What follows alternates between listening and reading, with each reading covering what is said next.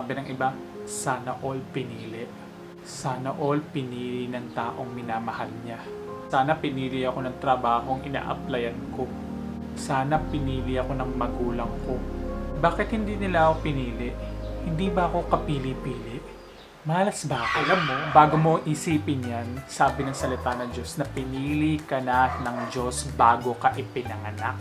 Sabi nga sa Ephesians chapter 1 verse 4, For He chose us in Him before the creation of the world to be holy and blameless in His sight in love. Sabi pa nga sa Psalms chapter 139 verse 16, You saw me before I was born. Every day of my life was recorded in your book. Every moment was laid out before a single day had passed.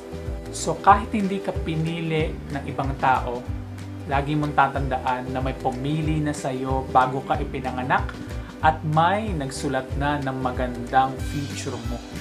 Sabi sa Jeremiah 29 verse 11, For I know the plans I have for you, declares the Lord, plans to prosper you and not to harm you, plans to give you hope and a future.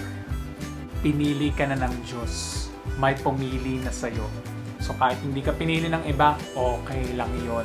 Pinili ka ng Diyos at may magandang future ka sa Kanya. Yun ang paniwalaan mo. If God says it, that settles it. Ngayon, willing ka din bang piliin siya?